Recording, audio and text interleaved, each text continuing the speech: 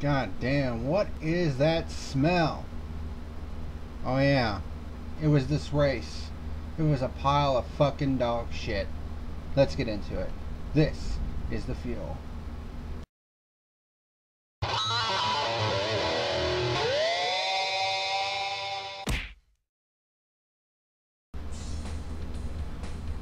What's happening, ladies and germs? This is the Packer Man, and welcome to today's edition of The Fuel, part of Motorsport Monday, where today we are going to be talking about the Folds of Honor QuikTrip 500 at Atlanta. This race was anything but a quick trip, I'll tell you that much. Oh, man. What a fucking slog this race was. Nowhere near as exciting as the Bristol race was. Not even the same zip code you know, and evidently it's become a bit of a talking point that maybe it's time to shorten the distance of some of these races. I mean, we have way too many 500 mile races on this schedule, and a race like this one, it was a slog. An absolute slog to get through. And it was a pile of dog shit. Man, this is basically uh, what I felt about the race afterwards.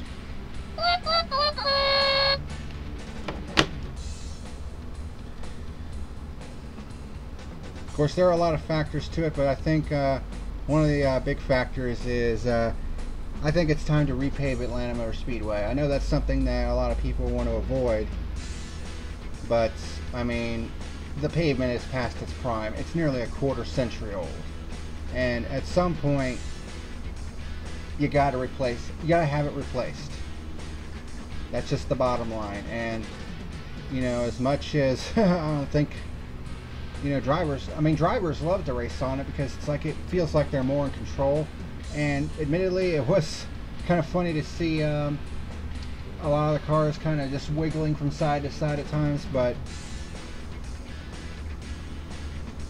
I mean, a lot of times, I mean,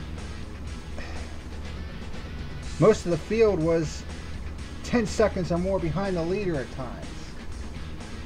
You know, and even though there were a lot of green flag runs and very few caution flags in this race, this race was so fucking boring that it didn't really matter.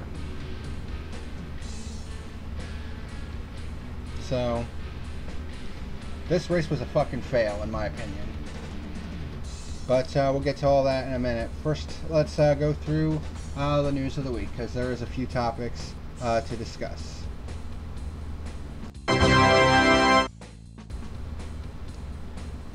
All right, so first things first, the news of the week this week. Uh, since I'm not doing uh, IndyCar reviews anymore, with the exception of two races, which, which this year will be the Indianapolis 500, of course, which will take place in August now, and the season finale, which was going to be um, Laguna Seca, but is now going to be St. Petersburg. Um, IndyCar uh, finally held its season opener um, this past Saturday night uh, Texas Motor Speedway, and uh, that race was also a pile of dog shit because um, Scott Dixon basically took the lead, and it was Dixon wins law. I mean, we saw a lot of the same problems in that race that we saw in the Atlanta race uh, that I watched a few hours ago at the time of recording this. So the first IndyCar race this season was garbage. I mean, it pulled in quite a number of viewers. I mean, there was 1.4 million people who watched this race, which for IndyCar on a Saturday night is fucking incredible. But what sucks about it is the fact that the race was total garbage, you know. But uh, be that as it may, uh, here are the top 10 results for said race. Scott Dixon, of course, with the win. Uh, basically, he basically won by four and a half seconds, led 157 of the race's 200 laps. Uh, basically, after Josef Newgarden led the first 41 laps, and then Dixon took the lead, and that was all she wrote, pretty much. Uh, Simon Pagenaud came home in second, Newgarden in third. Uh, Zach Veach with a top five finish. Ed Carpenter, Conor Daly, Colton Herta, Ryan Hunter-Reay, Oliver Askew, and Tony Kanaan rounded out the top 10. So your point standings um, I mean, they pretty much, the top six basically mirror uh, the results. Scott Dixon, the point leader, uh, beginning his assault on a potential sixth championship. Uh, Pagenaud in second, Josef Newgarden third. Uh, Zach Veach, Ed Carpenter, and Conor Daly in the Carlin Racing Machine, no less, uh, in the top six right now.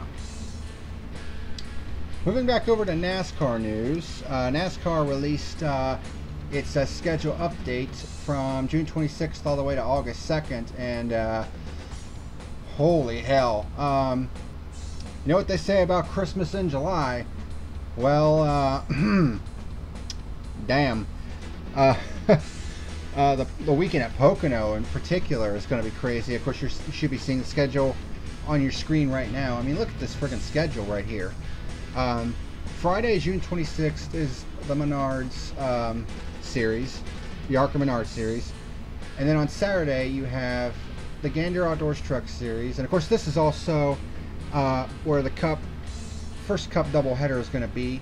Um, this was actually this is actually the sched what was scheduled for this year, uh, a doubleheader at Pocono. It, this wasn't because of the freaking um, COVID-19 situation. This was actually scheduled in advance for the Cup Series to do double uh, do a double header at Pocono. So you have Gander at Saturday at 12:30, and then you have the Cup Series at 3:30 on Saturday. Then you have the Xfinity Series on Sunday at Pocono.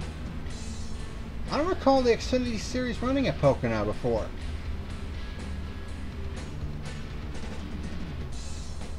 Huh, that's interesting.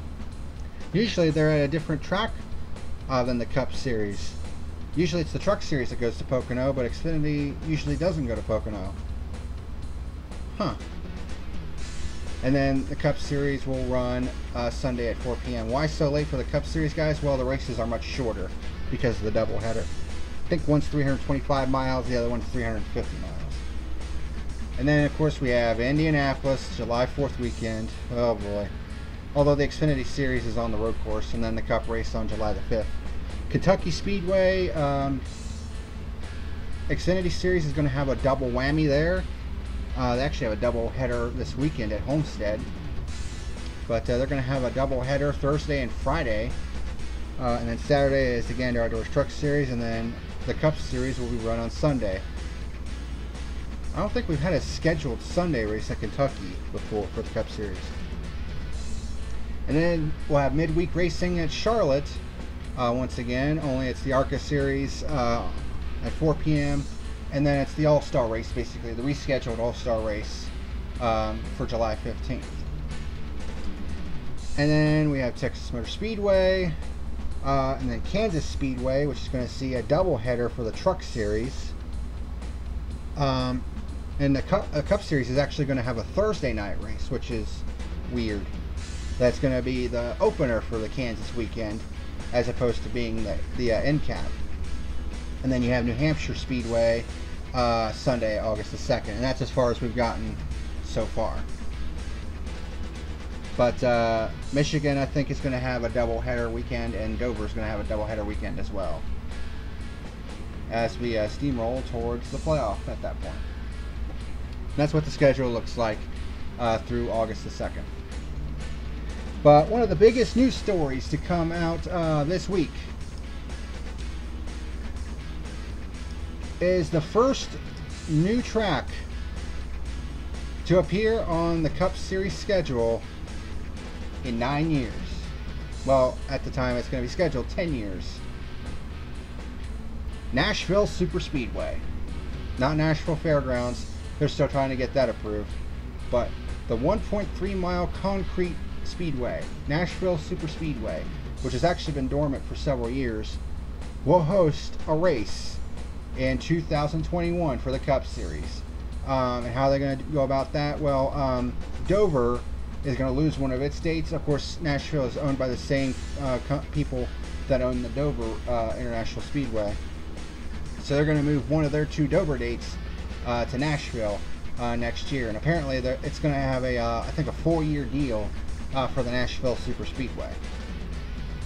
So while it's a little bit out of left field, I mean, personally, let's give it a shot. You know, it'd be something fresh. For, I mean, of course, I think we need a, a lot more changes than just the Nashville Super Speedway, but I mean, this is a good start, you know, and changing what has been an extremely stagnant schedule, although this year's been kind of thrown into uh, disarray. Uh, although it's basically some of the same tracks, you know what I mean? Just kind of moved around a little bit because of the whole COVID-19 shit. But uh, this is the first true step to sh truly shaking up the schedule uh, in the coming years as we enter the 2020s.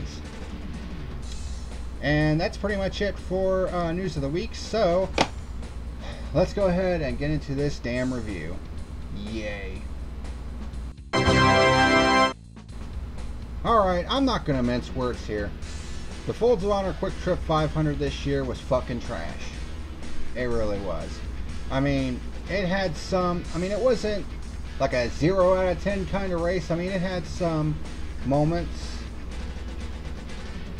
And at the very least, the race had a lot of green flag runs. I mean, the entirety of stage 3 was under green.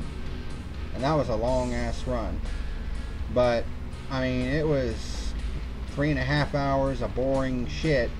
And not to mention the fact that uh, there were several drivers after the race uh, that needed some medical attention, uh, most notably Bubba Wallace, um, who actually um, was in the middle of an interview and it looked like he, uh, I didn't see it personally, but uh, from what I heard, um, he about he was starting to like zone out a little bit.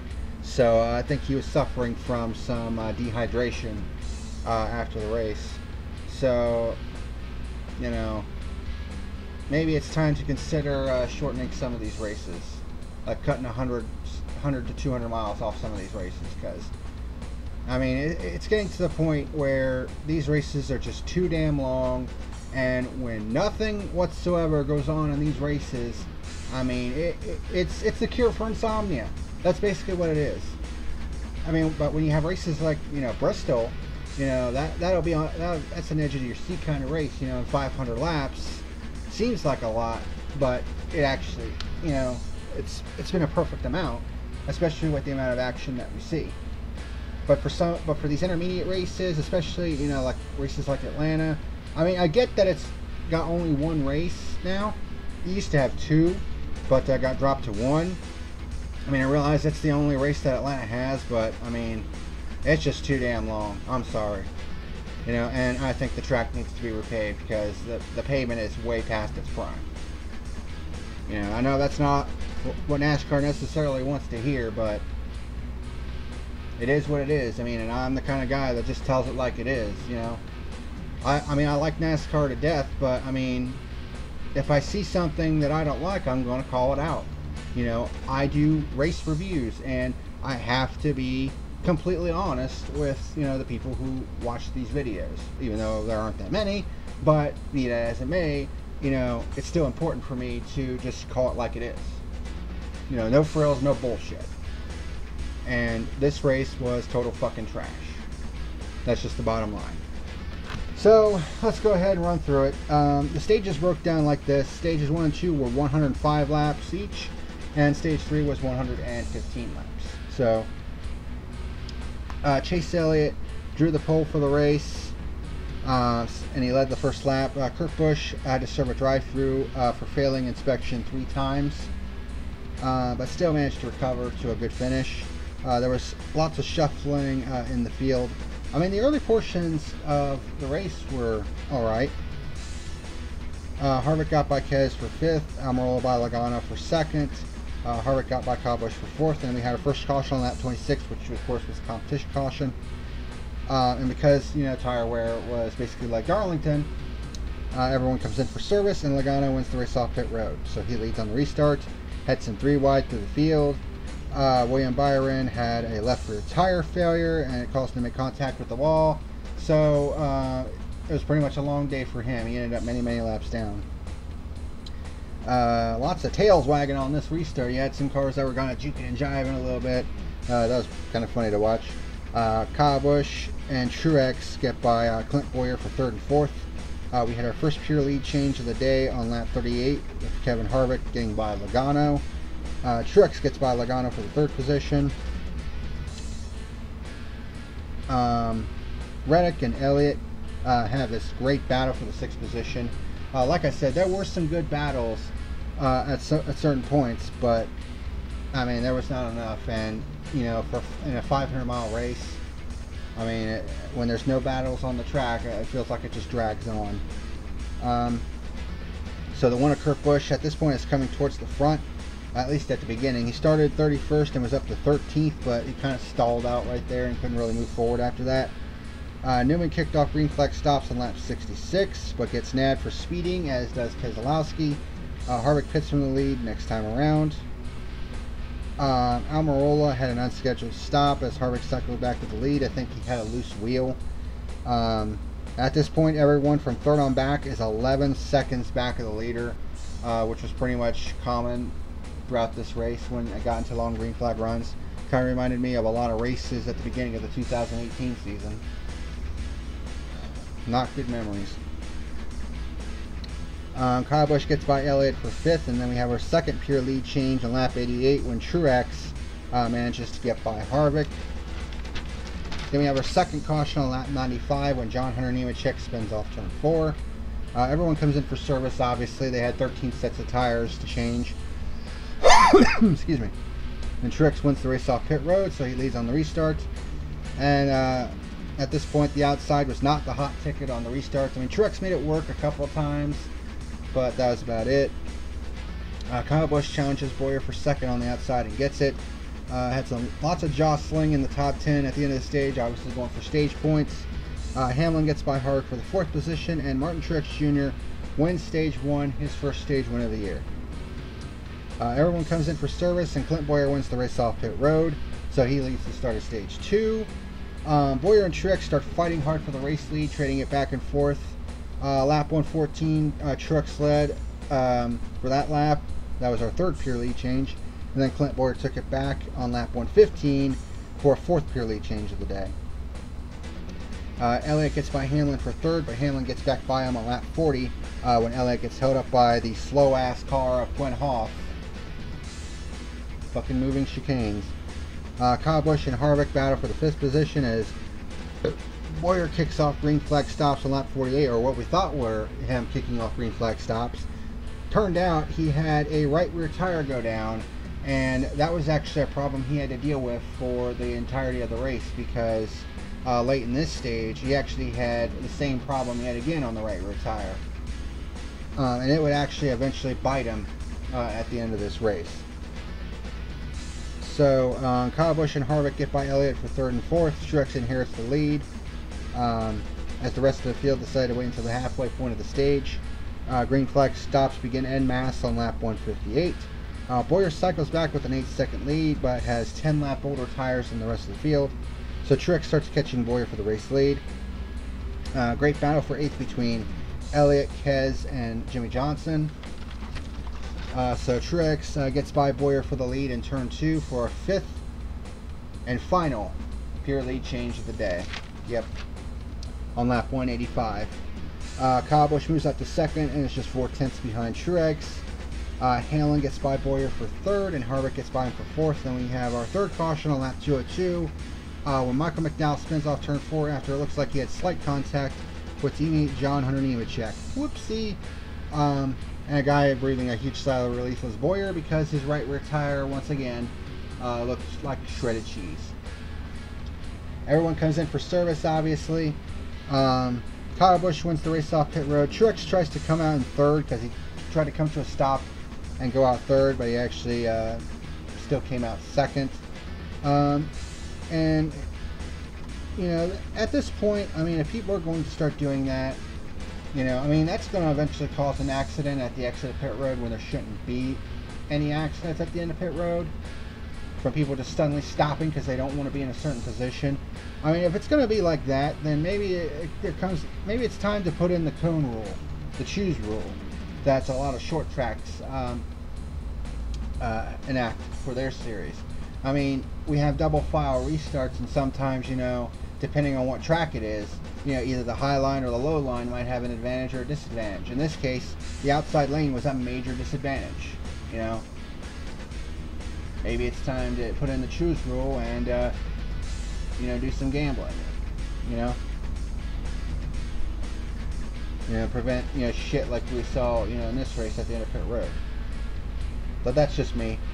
Um, they probably won't institute it, so it's whatever. Kyle leads on the restart, uh, but Truex uh, gets a great jump on the outside, which is a bit surprising, uh, and gets a push from Blaney to retake the lead. Uh, was not a pure lead change because it happened on the first lap after the restart. Um, Jones and uh, Erik Jones and uh, Christopher Bell make contact after going four wide off turn four, which is not the first time that's happened between Jones and uh, Bell. Um, this causes Jones to lose the right front tire down the front stretch, um, but he limps it back to the pits, and uh, Martin Truex Jr. wins stage number two. So everyone comes in for service. Uh, Kyle Busch wins the race off pit road, so he leads the start of stage number three, which is 115 laps.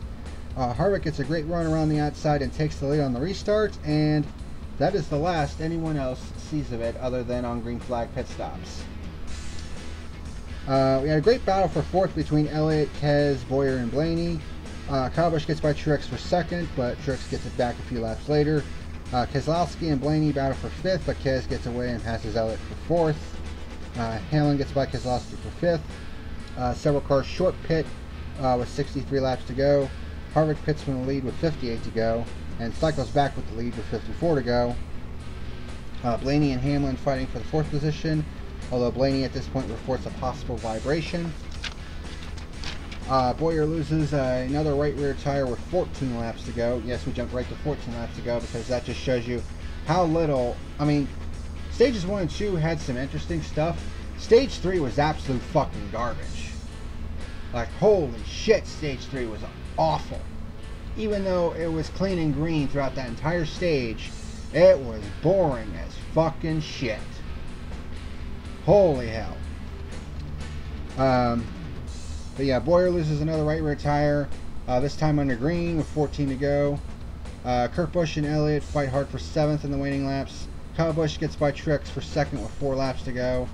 But uh, no one was a match for Kevin Harvick in stage three uh, as he wins the Folds of Honor Quick Trip 500 at Atlanta. And that was the race. And it was massive poop. Massive dog shit. So, with that in mind, let's go ahead and get to the top 10 results. Harvick, of course, with the win. Uh, led 151 of the race's 325 laps, so he led almost half the race although I think a large majority of that was in stage three. Uh, Kyle Busch comes home in second, Martin Truex Jr. in third, um, so he gets his first top five finish of the season, which is kind of surprising, although he is in the top five in points though, so he has been running well in races, he just not had the fin finishes to show for it. Uh, Ryan Blaney comes home in fourth, Denny Hamlin in fifth. Uh, Kurt Busch, despite you know ha having to have a drive-through penalty at the beginning of the race for failing post-race inspection, uh, comes home in sixth apparently everything was all good afterwards, so good job by Kurt Busch. Jimmie Johnson in seventh. Chase Elliott comes home in eighth. Brad Keselowski ninth, and Joey Logano rounds out the top ten. There were only ten cars on the lead lap at the end of the race.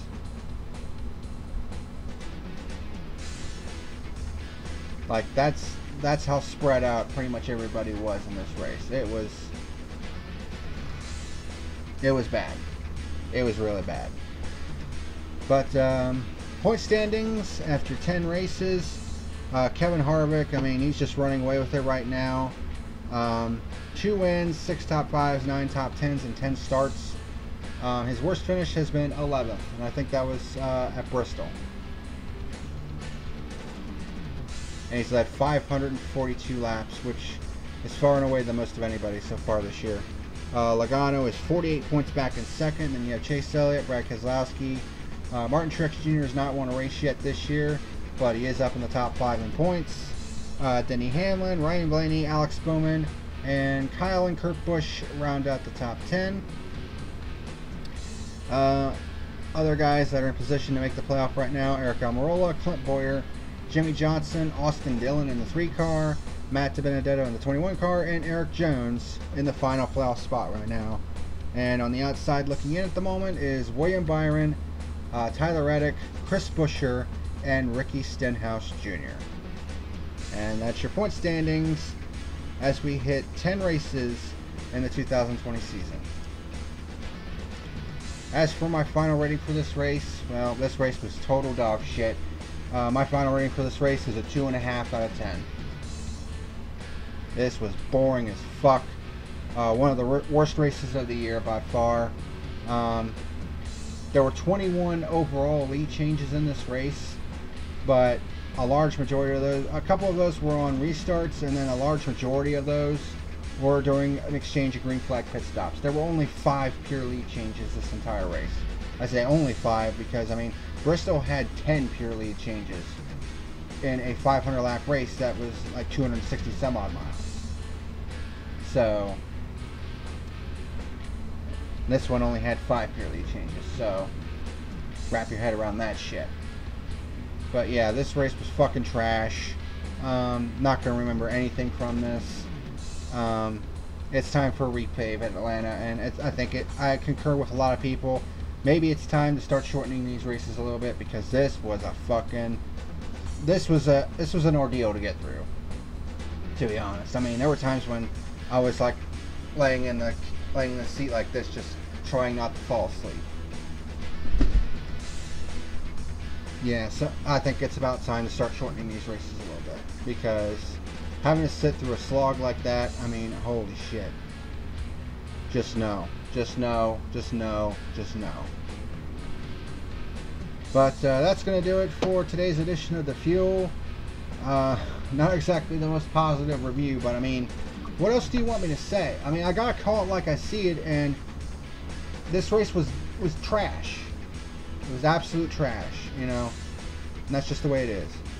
Um, but uh, next uh, time uh, is another uh, double whammy review uh, where I'm going to be reviewing um, Martinsville, which is taking place this Wednesday night. So that's going to coincide with AEW Dynamite. Yay. and then this next Sunday is going to be Homestead. So I'm going to be reviewing Martinsville and Homestead next week.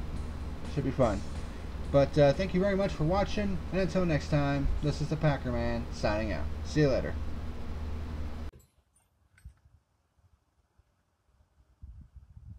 You better like and subscribe or face the consequences.